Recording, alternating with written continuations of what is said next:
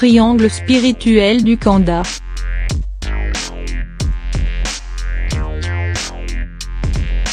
Triangle spirituel du Kanda.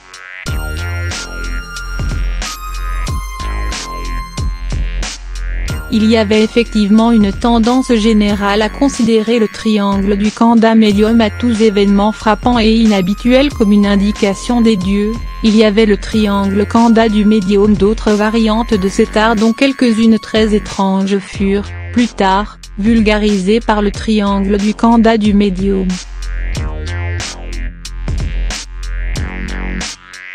Entrer en compte également la manière dont le triangle du Kanda médium était allé docilement vers la table de sacrifice, comme aussi la manière dont le triangle du Kanda médium a brûlé le sacrifice sur l'autel, le comportement de la flamme, la montée ou la descente de la fumée du triangle Kanda du médium.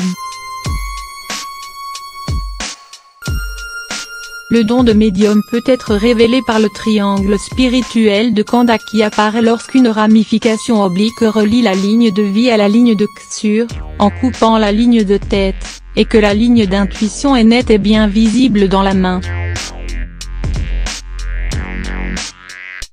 Cette figure spécifique de chiromancie se nomme triangle parce qu'elle se situe dans la plaine de Mars également appelée, triangle de la main.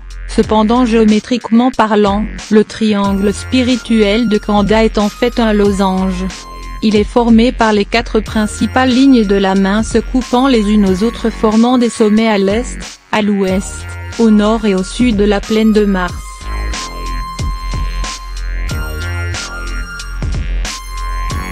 Ce sont respectivement, la ligne de vie 4 une ramification reliant la ligne de vie à ligne d'Oxure, qui prend le nom de, ligne de Mars 1 la ligne d'Oxure 2 et la ligne d'intuition qui sillonne le mont de la Lune jusqu'au mont de Mercure 3.